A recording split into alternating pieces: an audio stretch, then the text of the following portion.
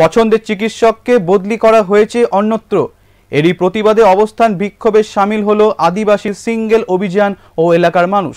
সকলের দাবি, তাদের প্রিয় ডাক্তারকে অন্যায়ভাবে বদলি করে দেওয়া হয়েছে অন্যত্র। পুনরায় তাকে হাসপাতালে নিয়ে আসতে হবে এই দাবিতেই অবস্থান বিক্ষোভ ও স্মারকলিপি প্রদান করে আদিবাসী সিঙ্গেল অভিযান। ঘটনা মালদা জেলার গাজল ব্লকে হাতিমারি ব্লক স্বাস্থ্য কেন্দ্রের বিক্ষোভকারীদের দাবি, তাদের পছন্দের চিকিৎসক শিশু পাল সরেনকে অন্যায়ভাবে বদলি করে দেওয়া হয়েছে। হাতিমারি গ্রামীণ হাসপাতালে ধর্ণা প্রদর্শন।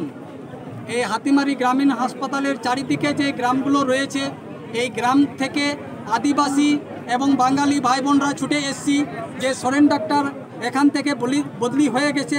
আমরা যখনই জানতে পেরেছি এবং এই জানতা পরে, পরের জন্য আজকে আমরা ধর্ণা প্রদর্শন প্রস্তুত নিয়েছি। কারণ হচ্ছে এই সোরেন ডাক্তার থাক থাকাতে কি আমাদের সুবিধা ছিল? এখানে উনি একজন সরেন, ডাক্তার সরেন, উনি একজন আদিবাসী সাঁওতাল সম্প্রদায়, উনি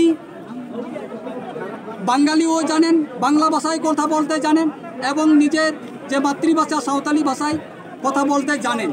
এখানে হসপিটালের চারিদিকে যেহেতু আদিবাসী গ্রাম রয়েছে, প্রচুর। এখানে যখনই মানুষকে অসুখ, বেসুখ হয়, সুবিধা, অসুবিধা হয়, ডাক্তার সরেনের কাছে ট্রিটমেন্ট করতে আসে।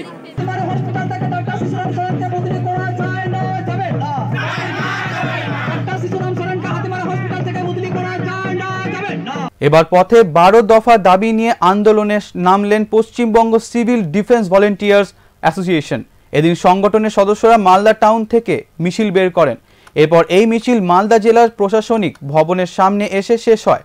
মালদা সভাপতি আদিত্য চৌধুরী বলেন, সুরক্ষিত এবং সুনিশ্চিত ভাবে মাসে তিরিশ দিন কাজের ব্যবস্থা, ষাট বছর পর্যন্ত কাজের ব্যবস্থা, জেলার ডুবুরি টিম গঠন সহ দাবি নিয়েই আন্দোলন করেন এবং এই বারো দফার দাবি নিয়ে ডেপুটেশন জেলাশাসক রাজশ্রী মিত্রের হাতে সংগঠনের পক্ষ থেকে তুলে দেওয়া হয়।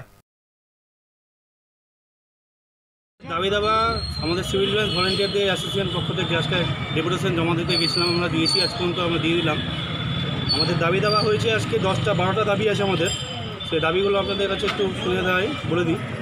আমাদের এক নম্বর দাবি হচ্ছে সুরক্ষিত ও নিশ্চিতভাবে তিরিশ দিনের পক্ষে আমাদেরকে একটা কাজ এবং সময় মতো টাকা দিতে হবে। তো দুই নম্বর দাবি হচ্ছে আমাদের ষাট বছর পর্যন্ত এবং ষাট বছর ঊর্ধ্বে আমাদের হয়ে গেলে তিন লক্ষ টাকা আমাদের একটা ঊর্ধ্বকালীন ব্যবস্থা করে দিতে হবে।